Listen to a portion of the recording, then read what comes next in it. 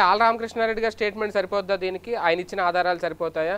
CID ఏమన్నా ఆ రైతుల్ని వెళ్ళి మాట్లాడి వాళ్ళ దగ్గర నుంచి ఎంక్వైరీ చేసి ఆ వివరాలు ఏమైనా తీసుకోవాల్సిన అవసరం ఉంటుంది లేదు లేదు. అల్ల రామకృష్ణారెడ్డిది ఓన్లీ ప్రైమరీ రిపోర్ట్. దాని ఆధారంగా సిఐడి ఇన్వెస్టిగేషన్ చేస్తోంది తీసుకుంటున్నారు. ఆల్రెడీ అరవై మంది డెబ్బై మంది రైతులు వాంగ్మూలాలు ఇచ్చారు. ప్లస్ ఇటు పక్కన అధికార యంత్రాంగం వాంగ్మూలాలు తీసుకున్నారు. అప్పుడు ఉన్నటువంటి శ్రీధర్ ఇప్పుడు రిజిస్ట్రేషన్ చేశారు అప్పుడు సబ్ రిజిస్టర్ ఎట చేస్తావు నువ్వు అని అడిగారు. ఎంఆర్ఓలు ప్రత్యేకంగా వీళ్ళకి పట్టాలు పోయినాయి కదా.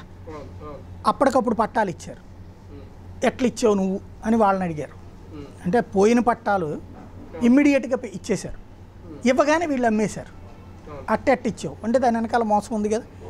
మామూలుగా మనం వెళ్ళి మన కాగితం పోయిందంటే సినిమా చూపెడతారు. ఎఫ్ఐఆర్ కాపీ కట్టించి పేపర్లో ప్రింట్ వేయించి మన కాగితాలు పోయినాయి అని ఆ తర్వాత గెజిట్ నోటిఫికేషన్ ఇచ్చి ఇవన్నీ చాలా చేస్తారు.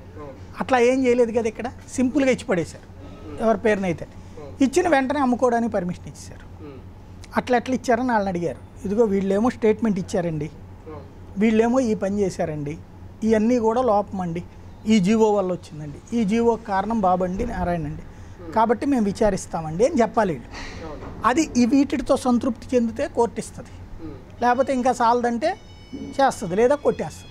అంటే మరొక అభియోగంతో మళ్ళీ కోర్టుకు వెళ్తే చంద్రబాబు గారు ఆ స్టే మీద పై కోర్టుకు వెళ్ళే అవకాశం ఏదైనా ఉంటుందా? మళ్ళీ ఒకవేళ విచారణకి పంపించమని అడిగితే గనక సిబి సిఐడి? అంటే ఈ ఇప్పుడు ఇక్కడ కనుక ఈ కోర్టు కనుక ఇస్తే పర్మిషన్ విచారించండి. ఆయన స్టేకి వెళ్ళే అవకాశం ఉంటుంది. అయితే సుప్రీంకోర్టు ఇవ్వదు. నాకు తెలిసి. ఎందుకంటే సుప్రీంకోర్టు ప్రతి దాంట్లో ఒక గైడ్ లైన్స్ ఏమి ఇచ్చిందంటే విచారణ ఆపద్దు తర్వాత ఫైనల్గా కావాలంటే దీని వరకు ఇవ్వండి. అరెస్ట్ వరకు ఎగ్జామ్షన్ ఇవ్వండి. అంతేగాని విచారణ ఆపద్దు అంది. ఆ కోణంలో బెనిఫిట్ ఉండొచ్చు.